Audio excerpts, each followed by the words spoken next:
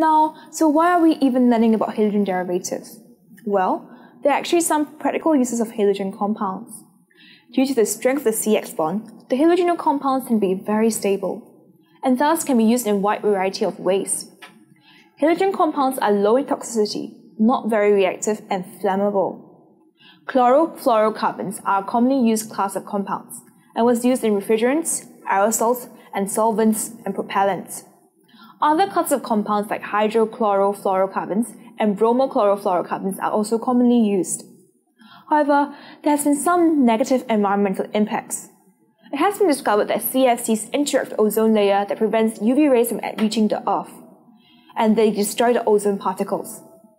UV light in the upper atmosphere splits up the CCl bond and forms Cl radicals, which then interact with ozone molecules to form ozone oxygen molecules, thus destroying the ozone layer.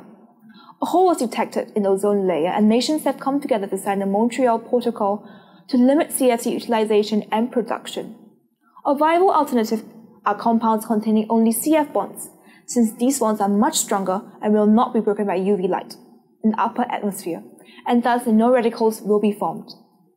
The ozone layer has started to repair itself.